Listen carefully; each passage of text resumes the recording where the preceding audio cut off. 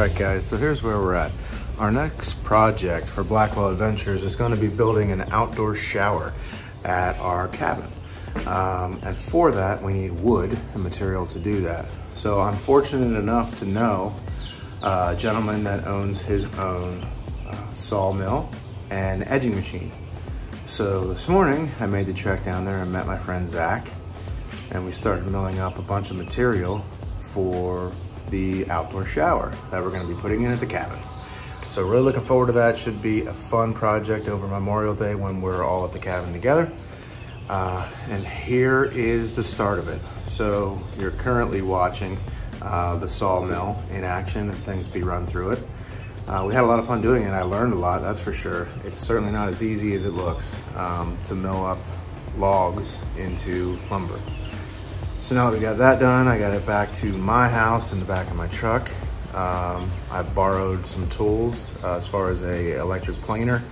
We're gonna plane things down a little bit, get them sanded down and ready to go. So it's a little more um, labor involved to use this kind of wood, but I'm really uh, trying to go for that rustic look on the outside of the cabin up there. So let's, uh, let's get going on the planer and see how things go. Well,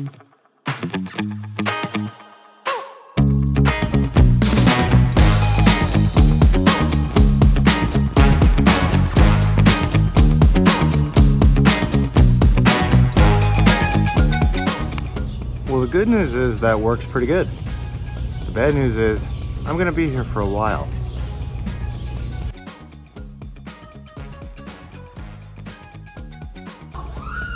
I've hit the wall.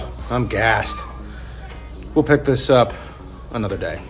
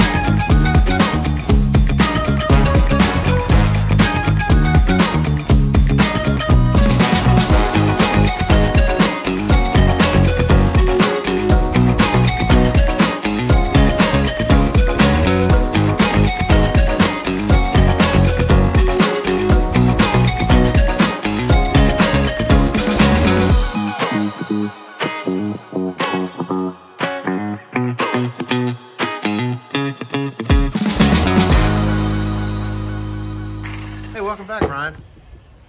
Yeah. People were asking where you've been. Trying to stay far from you. Ah, thanks. Okay guys, so as you can see behind me here, we got the entire base together for the shower. The holes are cut uh, here for the 4x4s to sit down into it. And I'm working on cutting all the slots. Gosh, this is harder than it looks.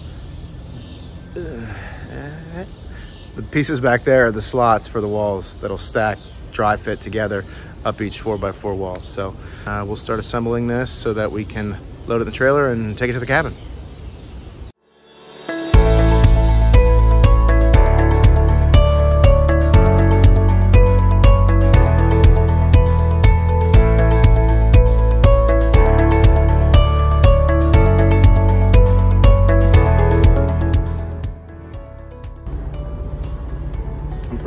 Smitten with how this looks. What do you think?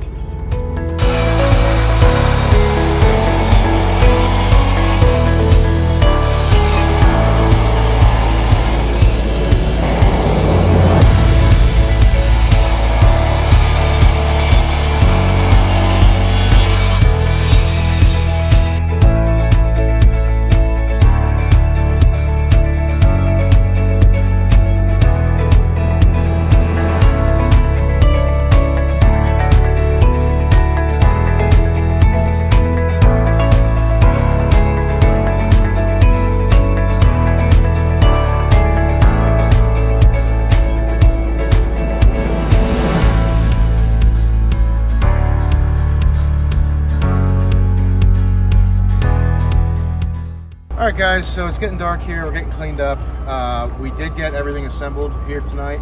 We got the door on, we got the sides on. Now we will have to deconstruct it to load it and take it to the cabin uh, for installation just to get it on the trailer. But I want you to take a look at it, tell me what you think.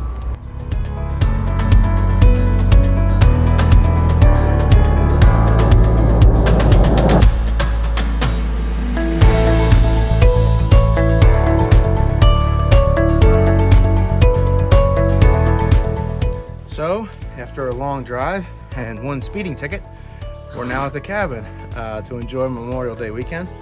Got the shower with us. Lily and I just put the base down and got that level. Now we're going to mount it to the side of the cabin and then get the walls installed. So keep watching.